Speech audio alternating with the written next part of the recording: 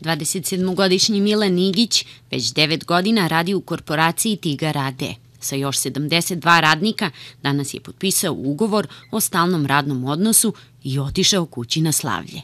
Pa radim 9 godina već i evo posle 9 godina smo dobili rješenje kao da stalno je. Koliko tebi ovo znači? Pa znači mi dosta.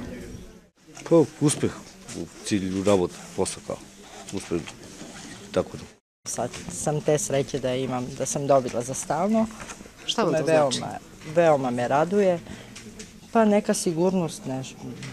Mislim, posle toliko godina, ponovo se čovek sigurnije osjeća kad ima ovo rešenje. Znači puno, naravno kao za svakog što, to, što bi značilo jedna sigurnost u poslu i.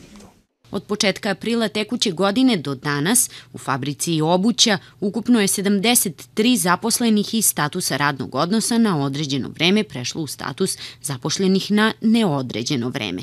Tokom marta meseca na nivou korporacije Tigar kod 50 zaposlenih je promenjen status radnog odnosa, to jest prevedeni su u stalni radni odnos.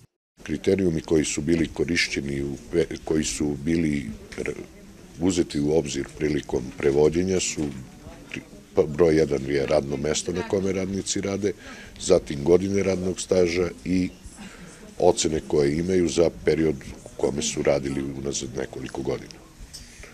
Treba napomenuti da taj proces, proces neće biti završen. Sa izborom su upoznati i to su predlozi njihovih neposrednih rukovodioca, rukovodioca radnih jedinica, sa kojim su se naše stručne komisije koje su pratile ovaj njihov rad i izbor složile i učestvovale u da se ova akcija sprovede do kraja.